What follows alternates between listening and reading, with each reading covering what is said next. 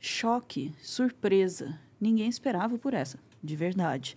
O presidente do Superior Tribunal Militar, ministro Francisco Joseli Parente Camelo, afirmou que o Brasil, atenção, não é um país comunista. Vocês acreditam nisso? Isso foi numa entrevista ao repórter Túlio Amâncio no Band News TV. Vamos dar uma olhada na matéria aí, Teobaldo? Mundo mudou. Mundo não, não, há, não há mais o, o, a divisão, o muro de Berlim já caiu há muito tempo. E não existe no Brasil essa ideia de que existe o comunismo. O comunismo não acabou. Para mim não existe o comunismo. No Brasil não existe. E outra coisa, o presidente Lula é um sindicalista. Eu não vejo o presidente Lula, jamais o vi como um comunista. Porque as pessoas têm uma mania de pensar que ser de esquerda é ser comunista. Isso não existe. Ser de esquerda, é, realmente, ela, ela, quer um Brasil melhor, quer um Brasil mais solidário, um Brasil mais próximo, um Brasil que pense no mais pobre. É tudo isso que a esquerda pensa. Então, ser de esquerda não é ser comunismo, e o comunismo, para mim, não existe no nosso país. O mundo mudou. Gente, eu, eu tô bege. Que expressão é essa? Ah, você não conhece? Tô bege? Não. Tô passada. Eu literalmente é. tô bege, né? Mas, é, eu, por essa eu não esperava, né? Milico dizendo que o Brasil não é comunista, logo esse cara vai ser internado aí, né? E ainda mais, dizendo não, a esquerda não é isso, a esquerda quer justiça social e tal, falando bem do Lula, né? Que, que, o que que está acontecendo? Tá todo mundo louco? Oba? É isso, Álvaro? Eu acho que quando as circunstâncias mudam, as pessoas mudam. Não tem jeito, né? E as instituições também. Há dois é. anos, 2022, nessa mesma época aqui, uhum. Páscoa.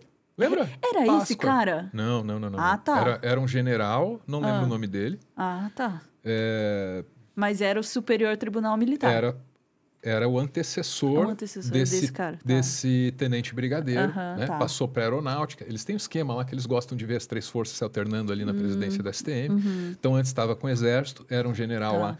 É, é, como é que eu vou dizer, né? De uma fala um pouco simplória, né? Uhum. Na Páscoa passada, uhum. perdão, na Páscoa de 2022, a gente tinha tido acesso a depoimentos da época da ditadura, assim, terríveis, uhum. mas terríveis, assim, de lacerar de ouvir, né? Uhum. Sobre tortura, sobre morte, sobre porão. Uhum. E aquilo veio à tona via um pesquisador que divulgou na Folha de São Paulo também. E passa a Páscoa, o STM se reúne e o presidente uhum. do STM diz: Isso aí não estragou a Páscoa de ninguém. Né? Com um desprezo total, deboche, é, né? com deboche e tal, né? Passa-se dois anos, né? Você tem um civil no poder novamente, porque é disso que se trata, né? E aí o discurso é de uma de, um, militar que reconhece que está subordinado uh, uh, ao civil. Mas mais do que isso, ele se dá o trabalho de explicar o que é a esquerda, de que nem todo mundo nesse campo ideológico é comunista, né? uhum. né? Eu fico pensando se essa poderia ser uma fala da Sofia, sabe? A Sofia escreveu o roteiro do, do Brigadeiro ali. Vamos ouvir a Sofia? Sofia, o que, que você acha dessa fala aí? Eu poderia ter ouvido a mesma coisa de você, minha amiga? Uh, eu diria que não, porque hum. ele ainda dê, dá uma visão negativa aí do, do comunismo. Ah, ó, o Brasil não é comunista, e ser de esquerda não é ser comunista. Hum. E para mim eu já ia dizer, o Brasil infelizmente não é comunista. Mas você concorda que não ser é... de esquerda não é, infelizmente não é ser comunista. Nem todo mundo de esquerda é comunista, mas a Sofia é. Então, então mas a, a, Sofia, a Sofia, ela tem pequenas ressalvas apenas ao que disse. Veja, o presidente do STM. É, já, já é uma A gente está lidando inédita. com consenso, lá, com consenso maravilhoso. Com relação ao que ele é. disse, eu concordo. As minhas ressalvas são pequenas. Agora, a minha dúvida é sobre o quanto que a gente pode confiar no que ele Opa! está dizendo. Porque a gente está vendo porque a gente está vendo aí uma, uma tentativa de conciliação que ao que me parece, está acontecendo dos dois lados, uhum. né? De um lado, você tem o Lula cancelando lá os eventos de 60 anos da ditadura militar, do outro lado, você tem aí o presidente superior, é, superior Tribunal Militar dizendo que ah, ser de esquerda não é ruim, é querer o bem do Brasil. Então você vê os dois lados estão tentando conciliar. Agora, a minha pergunta é: será que essa conciliação, para quem que vai ser melhor ela, pros, desses dois lados? Porque a gente está vendo um momento que para uhum, a, uhum. A, as Forças Armadas é o momento de maior fraqueza delas desde o fim da ditadura uhum, militar. Excelente. Sabe, as Forças Armadas nunca estiveram tão mal quanto estão agora. E se existe algum momento em que o poder civil poderia ir lá e desafiar os privilégios, e eu uso essa palavra assim porque nesse caso realmente é privilégio, não é direito, é privilégio uhum. que os militares têm. Se existe algum momento que o poder civil iria lá poder mexer na, nos na, no currículo das escolas militares que forma um monte de golpista, desculpa, mas a verdade é essa, era agora.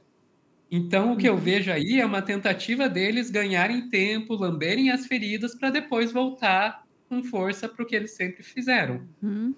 E fingir que não fizeram nada, né? Fingir que 8 de janeiro não aconteceu, não teve tentativa de golpe, tá, tá tudo bem, se pá, até nem a ditadura aconteceu, aí já vai deixando, vai deixando passar, né? Eu ia dizer, né, que era, era tipo um ritual, assim, de paquera, né? Um fala uma coisa boa sobre um, outro fala uma coisa boa sobre outro, né? É, então, tanto o governo quanto o milicos aí tentando se agradar, só, só quem se dá mal é a gente, né? Eu tenho uma última informação para acrescentar. Esse ah, é? presidente novo do STM, ah. perguntaram para ele uns dias atrás, né, ah. se o Pazuello é problema dele. Quer dizer, não, interessante isso. Ah. Quer dizer, o Pazuello, pelo que fez em Manaus, por exemplo, tem que ir para a justiça militar. Ah, né? O que, que, ele fez em Manaus? Né? Você lembra, né? Sim. Claro que sim. você lembra, né? Faltou oxigênio, oxigênio recusou, né? né? Enfim. Recusou ajuda, é enfim, responsável e pela morte de muita gente. O que esse presidente do STM disse, surpreendentemente, é não, isso é problema para a justiça civil. o que na prática significa dizer, dane-se o Pazuello, né? Então, é, é, isso, isso, de novo, eu não interpreto essa como uma maravilhosa notícia e uhum. tal, né? Uhum. São, são provavelmente negociações e concessões é. que eles estão abrindo, né? uhum, né? Uhum. E eu acho, como a Sofia já disse isso aqui milhares de vezes, né? Que a gente está deixando uma oportunidade histórica passar. E aí, se a gente deixa passar, a próxima geração vai ter que lidar com, com isso de novo, né? É. É, minha reação imediata quando você diz, ah, ele falou que o Pazuello é problema da justiça civil, é, achar legal. Falar, ah, beleza, né? Então, então não vamos passar a mãozinha na cabeça do Pazuelo aí. Ah, mas logo em seguida aí você lembra que o Pazuelo faz parte daquele pacote de sacrifício, né? Do, dos militares. Que está sendo anunciado em off aí pelos militares legalistas em tudo quanto é coluna é, de jornal. Exatamente, uhum, né? É, é, já se aventa aí Braga Neto, o General Heleno, né? E o Pazuello vai aí no pacote como um, como um sacrifício, como uma, uma oferta aí para dizer, olha, não, aqui nós tiramos os maus milicos do, do meio, agora o que sobrou é bom estão entregando os anéis para segurar os dedos, né?